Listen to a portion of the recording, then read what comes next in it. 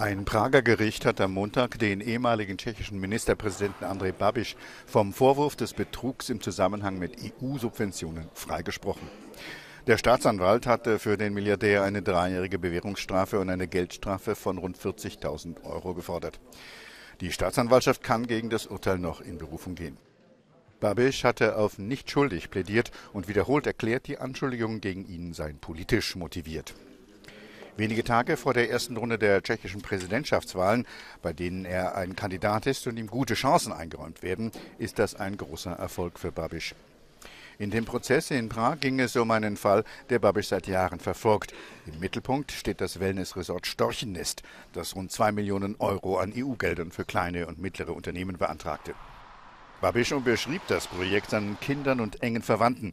Doch nach Ansicht der Anklage gehörte es faktisch der riesigen Babisch-Firmenholding Agrofert und hätte die Gelder nie bekommen dürfen.